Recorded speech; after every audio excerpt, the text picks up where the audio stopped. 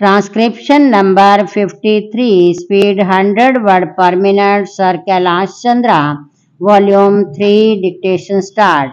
Mr. Speaker, Sir, yesterday the Honorable Minister and today the Chairman of the Select Committee have fully explained the various uh, clauses of the bill and certain important changes that have been effected by the Select Committee.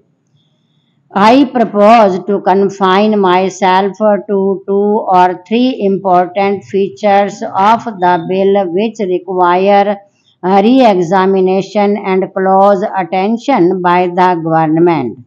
Sir, I need hardly emphasize the important role which the electricity supply undertakings play in the national economy of the country.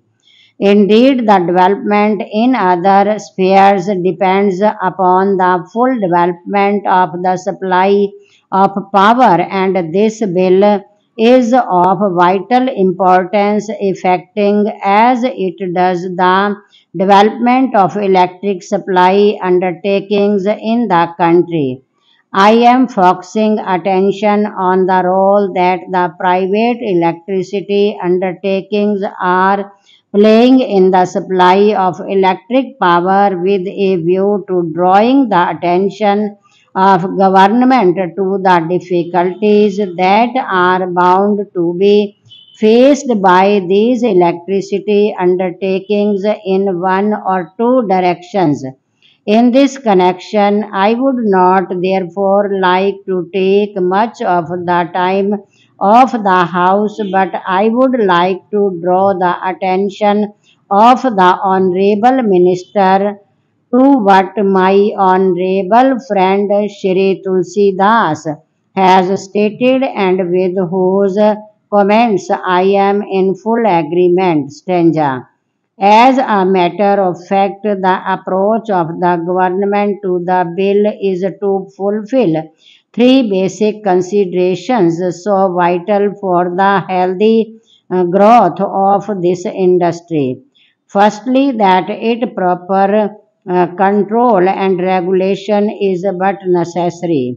I fully agree that this is subject to certain differences on basic aspects, but the important consideration governing this bill is to attempt at providing suitable incentives to the industry, which alone can enable it to increase its capacity to the desired extent.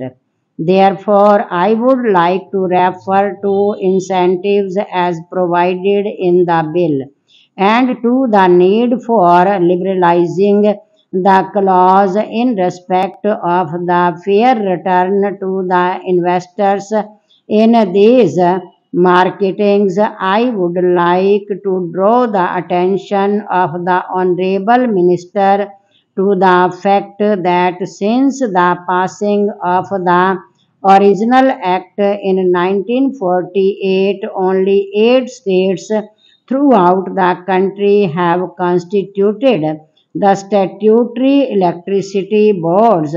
Among these states are Madhya Pradesh, West Bengal, Tamil Nadu, Kerala, Rajasthan, Punjab, Odisha, and Madhya and Maharashtra. And therefore, we find that many of the states have still to constitute these electricity board stop.